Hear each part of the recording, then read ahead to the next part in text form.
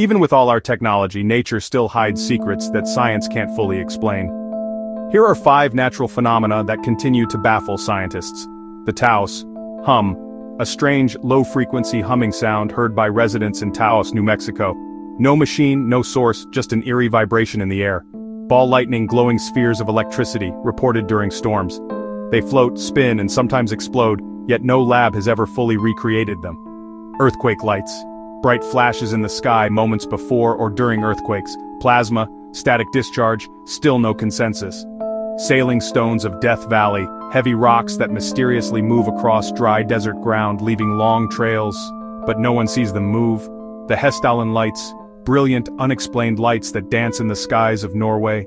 Scientists have studied them for years, and they're still a mystery. The Earth is full of strange behaviors that defy logic, and every time we think we've figured it all out, nature surprises us again. Follow FactZilla channel for more incredible science facts.